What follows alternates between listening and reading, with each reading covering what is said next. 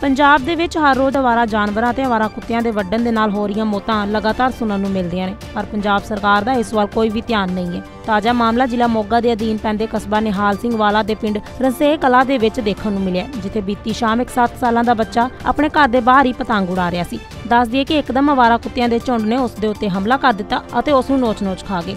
ਦੱਸ ਦਈਏ ਕਿ ਇਸ ਘਟਨਾ ਦਾ ਪਤਾ ਉਦੋਂ ਲੱਗਾ ਜਦ ਹਰਮਨ ਦੀ ਗਵਾਂਢ ਵਿੱਚ ਰਹਿੰਦੀ ਇੱਕ ਔਰਤ ਨੇ ਅਵਾਰਾ ਕੁੱਤਿਆਂ ਨੂੰ ਕੁਝ ਖਾਂਦੇ ਹੋਏ ਦੇਖਿਆ, ਜਿਸ ਤੋਂ ਬਾਅਦ ਉਸਨੇ ਹਰਮਨ ਦੇ ਪਰਿਵਾਰ ਵਾਲਿਆਂ ਨੂੰ ਸੂਚਿਤ ਕੀਤਾ ਅਤੇ ਜਦ ਤੱਕ ਘਰ ਦੇ ਅਵਾਰਾ ਕੁੱਤਿਆਂ ਦੇ ਚੰਗਲ ਤੋਂ ਹਰਮਨ ਨੂੰ ਛੁਡਾਉਂਦੇ ਤਦ ਤੱਕ ਉਸ ਦੀ ਮੌਤ ਹੋ ਚੁੱਕੀ ਸੀ। ਦੱਸ ਦਈਏ ਕਿ ਪਿੰਡ ਵਾਸੀਆਂ ਨੇ ਸਰਕਾਰ ਅੱਗੇ ਅਪੀਲ ਕੀਤੀ ਹੈ ਕਿ ਇਹਨਾਂ ਅਵਾਰਾ ਜਾਨਵਰਾਂ ਤੇ ਕੁੱਤਿਆਂ ਦਾ ਜਲਦ ਤੋਂ ਜਲਦ ਕੋਈ ਹੱਲ ਕੀਤਾ ਜਾਵੇ। ਦੱਸ ਦਈਏ ਕਿ ਹਰਮਨ ਦੀ ਮੌਤ ਤੋਂ ਬਾਅਦ ਪਿੰਡ ਦੇ ਵਿੱਚ ਦਹਿਸ਼ਤ ਦਾ ਮਾਹੌਲ ਬਣਿਆ ਹੋਇਆ ਹੈ ਅਤੇ ਪੂਰਾ ਪਿੰਡ ਸਦਮੇ ਵਿੱਚ ਹੈ। ਬੱਚਾ ਪਤੰਗ ਉਡਾਉਣ ਗਿਆ ਸੀਗਾ ਜੀ। ਛੁੱਟੀ ਸੀ ਸਕੂਲੋਂ। ਕੁੱਤੇ ਨੇ ਹਮਲਾ ਕਰਤਾ ਉੱਤੇ ਤੇ ਰੌਲਾ ਪਾਇਆ ਭੱਜ ਕੇ ਜਾ ਕੇ ਛੜਾਇਆ। ਬਹੁਤ ਗੰਭੀਰ ਹਾਲਤ ਸੀਗੀ ਜੀ ਬੱਚੇ ਦੀ। ਕਿੰਨੇ ਕੁ ਸਾਰਾ ਕੁੱਤੇ- ਪਾੜਿਆ ਪਿਆ ਸੀਗਾ ਜੀ। ਕਿੰਨੇ ਕੋ ਕੁੱਤੇ ਸੀਗੇ ਜੀ ਚਾਰ ਪੰਜ ਕੁੱਤੇ ਸੀਗੇ। ਕਰਨਾ ਕਿ ਉਸ ਤੋਂ ਬਾਅਦ ਮੋਗੇ ਲੈ ਗਏ ਅੱਛਾ ਜੀ। ਹਾਂਜੀ। ਫਿਰ ਕੀ ਦੱਸਿਆ ਡਾਕਟਰ ਨੇ ਜੀ?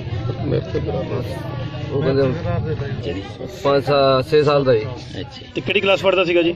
ਦੂਜੀ ਕੀ ਕਹਿਣਾ ਚਾਹੂੰਗਾ ਜੀ ਅਸੀਂ ਐਸਡੀਐਮ ਦਫ਼ਤਰ ਜਗਰਾਉਂ 10 ਦਿਨ ਬੈਠੇ ਆ ਪਰ ਇਹਦਾ ਇੱਕੋ ਇੱਕ ਹੱਲ ਇਹ ਆ ਵੀ ਜਿਹੜੇ ਪਿੰਡ ਦੇ ਵਿੱਚ ਵੀ ਵਾਰਾ ਕੁੱਤੇ ਬੱਚਿਆਂ ਨੂੰ ਨੋਚਦੇ ਆ, ਉਸ ਦੇ ਉਸ ਪਿੰਡ ਦੇ ਲੋਕ ਇਕੱਠੇ ਹੋ ਕੇ ਉਹਨਾਂ ਝੁੰਡ ਨੂੰ ਮਾਰ ਦਿੱਤਾ ਜਾਵੇ ਇਸ ਦਾ ਕੋਈ ਹੋਰ ਹੱਲ ਨਹੀਂ ਕਿਉਂਕਿ ਮੈਨੂੰ ਕੇਂਦਰ ਵੱਲੋਂ ਚਿੱਠੀ ਆਈ ਆ ਵੀ ਕੁੱਤਿਆਂ ਦੀ ਨਾਸ਼ਬੰਦੀ ਕਰ ਦਿੱਤੀ ਜਾਵੇ ਜਾਂ ਹਲਕਾ ਦੇ ਟੀਕੇ ਲਾ ਦਿੱਤੇ ਜਾਣ।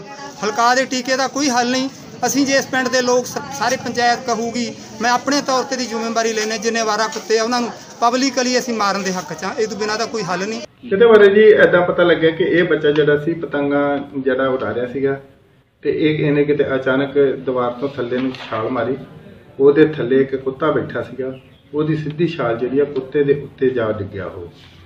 ਜਦੋਂ ਜਾ ਡਿੱਗਿਆ ਤੇ ਉਹ ਕੁੱਤੇ ਨੇ ਤੇ ਇਹਦੇ ਨਾਲ ਹੋਰ ਵੀ ਲਾਗੇ ਬੰਨੇ ਕੁੱਤੇ ਸੀਗੇ ਭੌਂਕਦੇ ਦੇਖ ਕੇ ਸਾਰੇ ਉਹਦੇ ਜਿਹੜੇ ਪੈ ਗਏ। ਜਿਸ ਕਾਰਨ ਜਿਹੜਾ ਉਹਨਾਂ ਨੇ ਬੱਚੇ ਨੂੰ ਬਹੁਤ ਬੁਰੀ ਤਰ੍ਹਾਂ ਜ਼ਖਮੀ ਕਰ ਦਿੱਤਾ।